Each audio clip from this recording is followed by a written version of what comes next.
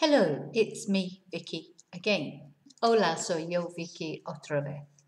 This is just a quick video just to remind you uh, as uh, the dreaded C word approaches, in other words, Christmas. I don't really like even mentioning the word Christmas before December, but I know a lot of you like to get organised uh, before and not that long to go now.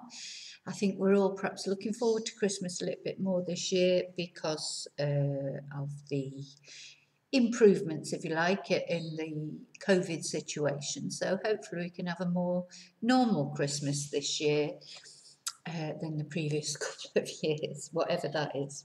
Okay, so I just wanted to remind you because good stocking fillers um, for a, a, lot of you know about my Break the Language Barrier books, either to learn English or Spanish. Um, but also, of course, I, uh, every now and again, I think I should remind people that I do have these bilingual storybooks, which uh, are good for children or adults.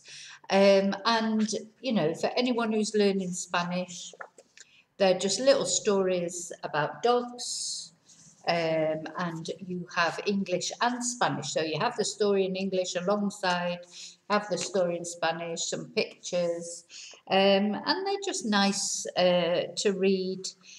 Uh, if you're if, if for somebody who's studying Spanish because you can see the English and Spanish alongside each other.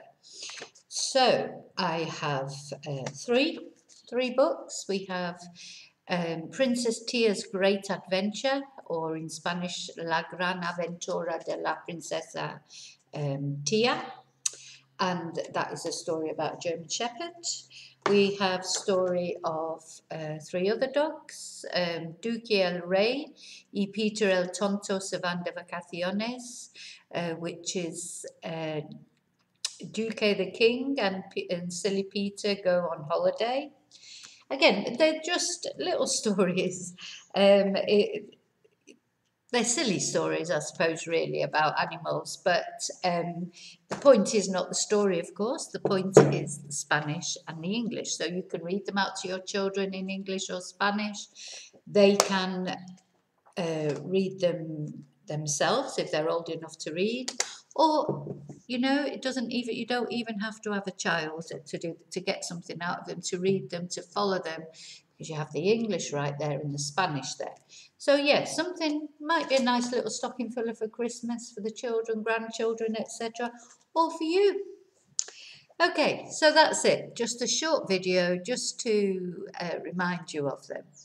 And I will see you real soon in the next video. Te veo muy pronto en el próximo video. And may your God go with you. Y que tu Dios vaya contigo. Thank you.